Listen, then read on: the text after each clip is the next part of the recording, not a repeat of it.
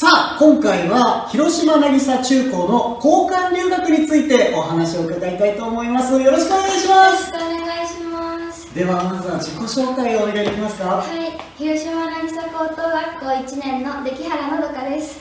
出来原さん、よろしくお願いしおます。願いします。そもそも僕、交換留学っていうのを知らなくて、一体交換留学っていうのはどういうことをするのかご紹介いただけますか？はい、えータイにあるサティカセという学校との交換留学で、サティカセの生徒さんが渚に来て、うん。渚からは中学3年生がタイに行きます。はい、へえ、じゃあ本当に交換するんだね。どれぐらい行くんですか？去年は7月末から2週間タイで生活しました。2週間？2週間でのタイ生活どうでした？いやー身の回りのものが全て新鮮で、毎日驚きがたくさんあってとても楽しかったですワット・パクナームというお寺に行った時の写真なのでめっちゃ綺麗鮮やかですね。日本の寺院と全く違ってすごい面白かったです。へえおお綺麗。何この衣装。これは伝統舞踊を披露した時に着た伝統衣装です、伝統舞踊。授業の一環として習ったのを送別会で踊りました。ーん。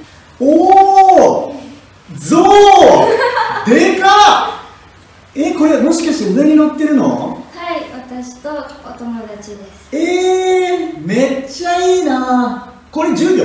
これは授業じゃなくてサティカセの遠足の時に乗せさせてもらいました。これ遠足？はい。でもこれもタイに行かないと現地でしか絶対に体験ができないことなのでめちゃくちゃいい体験できましたね。そうですね。ねえみんな行きたくなるんじゃないですか？行きたくなりますね。私たち6人の日本人メンバーも、タイから帰ったその日にまたタイ行きたいねって話したぐらいでした。は 日本に帰ってきてすぐに？い。もうタイロスになるんだ。将来また大人になって自分でお金貯めてタイに行きたいなとかっていうのもありますいねやもちろん行きたいですね。